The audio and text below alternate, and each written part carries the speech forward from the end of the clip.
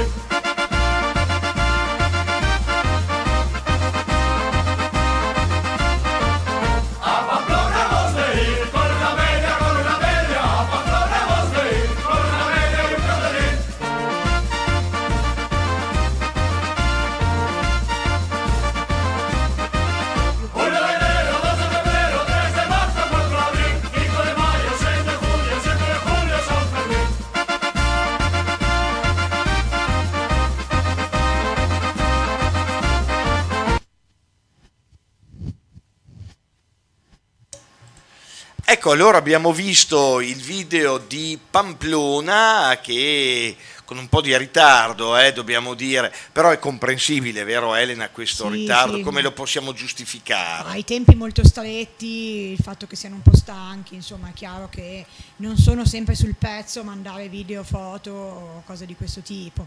Però insomma li, li scusiamo solo perché sono alla GMG e sono appunto molto indaffarati e stanchi. Ma chi invece è sempre molto puntuale è Monsignor Solmi nel mandare i video. In effetti, quindi oggi Fatima, oggi primo agosto, vero Elena? Fatima. Fatima oggi è giornata diciamo importante, una mattinata significativa per il gruppo di Parma perché il pellegrinaggio Fatima diciamo, è un po' il centro eh, di questo viaggio, oltre alla- all'incontro con Papa Francesco, l'incontro con Maria nel suo santuario a Fatima è uno dei momenti più importanti e più significativi. Anche perché il tema della giornata mondiale di gioventù è Maria si alzò in fretta, se non sbaglio, è lo Esatto, slogan. esatto, tema No, mariano, quindi- Mariano che si riferisce all'incontro con Elisabetta perché va a soccorrere. Quindi ci sta questo momento, anzi fondamentale, come dicevi, a Fatima.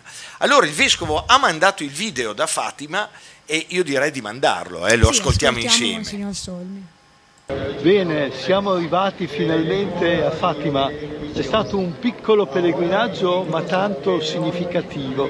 Siamo arrivati a Fatima dove Maria si fa presente e chiede all'umanità, parlando ai tre pastorelli, di guardare dentro di sé e di pentirsi del male fatto, perché questa è l'unica via che può portare alla salvezza e che può portare alla pace. Quindi Maria si alzò in fretta e si alza in fretta ancora per ognuno di noi a dire eh, che è l'ora eh, di guardarsi dentro, di non aspettare, di fare dei passaggi importanti e significativi. Qui tutto trasuda di spiritualità e di fede.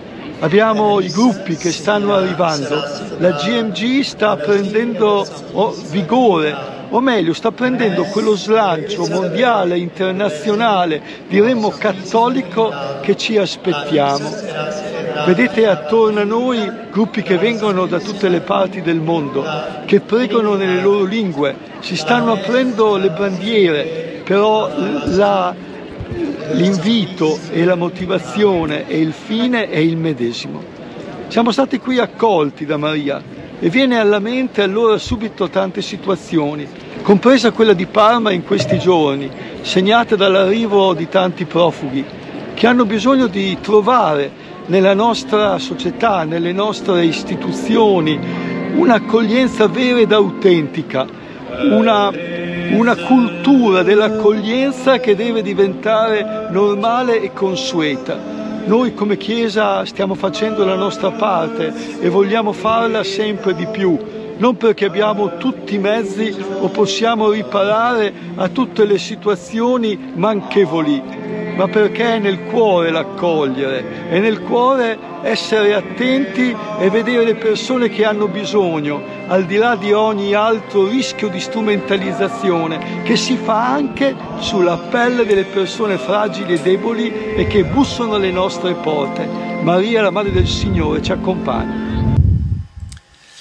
Ecco allora, eh, il programma quindi di oggi com'era Elena? Il Vescovo ci ha salutati da Fatima. Sì, ecco, allora, questa mattina i ragazzi erano ospitati eh, vicino Fatima, alle porte di Fatima e eh, verso le 10, dopo vabbè, la sveglia, la colazione, la preghiera del mattino, sono partiti a piedi per un percorso di circa 8 km eh, verso il santuario, quindi hanno fatto un pellegrinaggio a piedi ehm, sotto la guida appunto del vescovo, dei sacerdoti che accompagnano il gruppo, hanno recitato il rosario e ascoltato alcune meditazioni eh, sul tema appunto della GMG e sul tema mariano eh, fino al santuario dove hanno avuto appunto un momento di visita e la Santa Messa celebrata dal Vescovo. Dopodiché hanno pranzato, poi la giornata è, insomma, eh, ricominciata, eh, cioè proseguito il loro spostamento. Santuario di Fatima molto importante non solo perché il tema della GMG è un tema mariano, Maria si alzò in fretta, ma perché Fatima è legata alla richiesta di pace. La Madonna appare nel 1917 durante la prima guerra mondiale e raccomanda la recita del rosario ai bambini perché la guerra finisca in fretta. I cuori si convertiranno se voi recitate il rosario e ci sarà la consacrazione al mio cuore immacolato e ci sarà un periodo di pace. E noi sappiamo che eh, proprio eh, prima allo scoppio diciamo, della guerra fra Russia e Ucraina c'è stato questo gesto da parte di Papa Francesco, quella della consacrazione della Russia e dell'Ucraina al cuore immacolato di Maria, quindi Fatima molto importante in questo periodo anche per la richiesta di pace. Ecco, io farei vedere Elena un, uh, un filmato di quattro minuti proprio su un po' sulla storia delle apparizioni di Fatima sì, certo. che contestualizza un po' meglio il discorso. Così allora, riusciamo a capire meglio perché è così importante questo santuario e questo pellegrinaggio dei nostri ragazzi. Esatto, allora è un video che prendiamo da TV 2000 e che vi proponiamo. Lucia ve l'avevo detto che sarebbe stata una lunga mattinata, vi avevo promesso che vi avrei portato qui proprio al cospetto della Madonna di Fatima, una Madonna che è apparsa a Tre Pastorelli, una Madonna che eh, ha visto la sua storia iniziare nel 1917 con l'apparizione. 1916, un anno prima, l'angelo della pace appare ai Tre Pastorelli proprio per prepararli e gli insegna una preghiera, una preghiera che tutt'oggi recitiamo e non tutti sanno che viene proprio da qui, che è quella che fa così, mio Dio, io credo, spero, adoro, ti amo. Ti chiedo perdono per tutti coloro che non credono, non sperano, non adorano e non ti amano. Questo forse è il, la sintesi del messaggio di Fatima. Noi però abbiamo chiesto al direttore dell'ufficio dei pellegrini, cioè colui che accoglie tutti i pellegrini che arrivano qua, di raccontarci come ha inizio tutta questa storia. Vediamo cosa ci ha detto.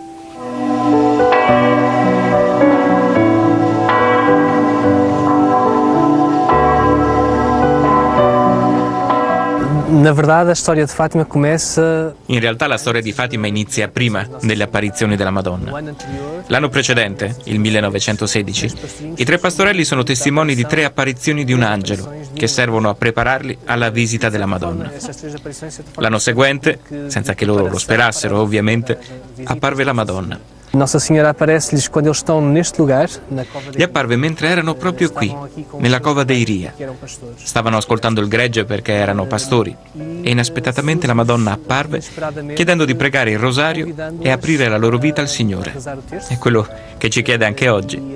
Aprire la nostra vita alla luce di Dio e essere capaci di scegliere la strada che ci porta verso di Lui e ad essere felici.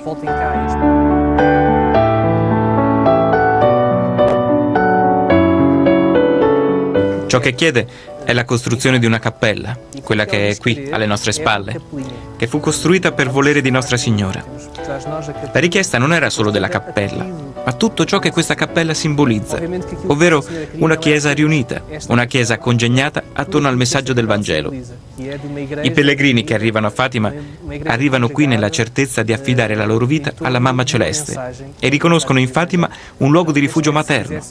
È molto interessante perché la Nostra Signora, nel messaggio di Fatima, offre il suo cuore come rifugio e strada che porta a Dio.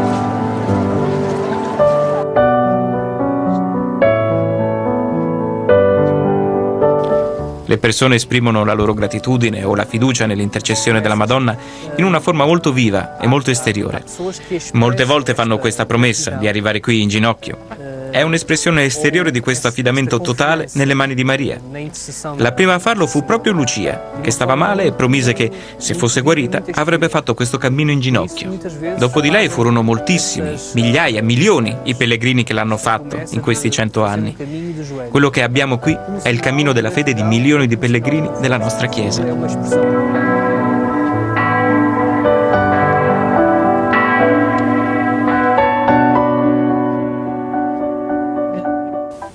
Lucia, ci siamo spostati qui in alto per farvi vedere qual è il percorso che fanno i pellegrini. Quella striscia bianca che vedete che arriva fino alla cappellina delle apparizioni è tutto il percorso che i pellegrini fanno in ginocchio, molto spesso per ringraziare, alle volte per affidarsi alla Mamma Celeste.